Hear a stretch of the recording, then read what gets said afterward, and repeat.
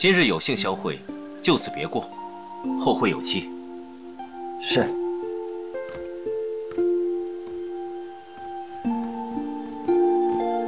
哎，丹公，哎，丹公子，今日你出手相助我家公子，包某在此多谢了。包三哥客气了啊。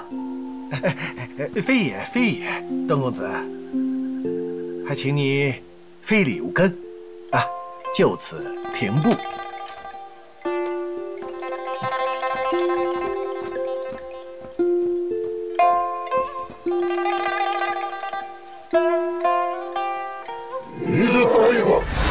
神龙电脑，不怕给我炸了吗？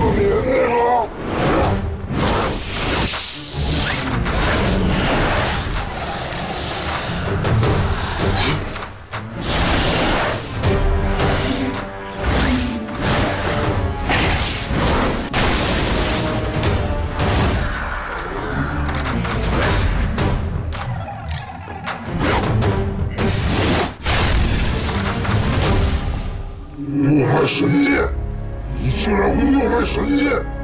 哈哈哈哈哈哈！啊，段延庆啊，段延庆，枉费你潜心苦练这么多年，竟然还不如一个无知庶子，笑真是可笑！哈哈哈哈哈！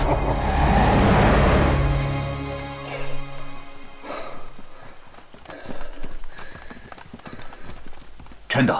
参见小王爷。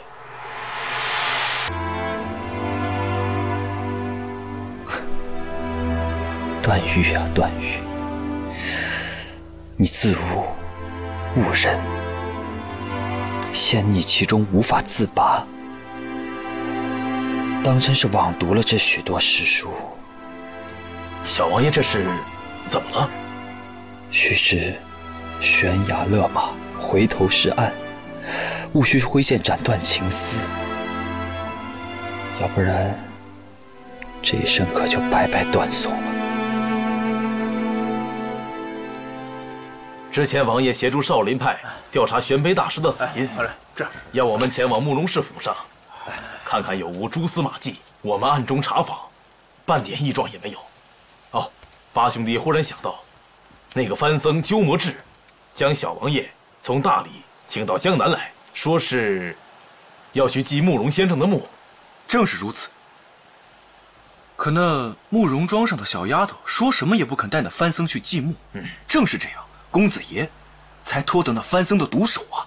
范司马，巴司空提及此事，不知这中间有何关联呢？呃，华大哥一听到这个墓字，登时手痒。我和八兄都不大赞成，华兄弟却一直坚持。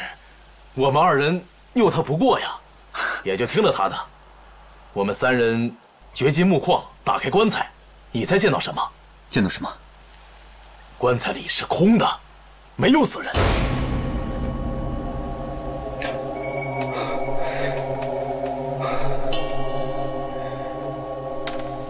慕容博没有死。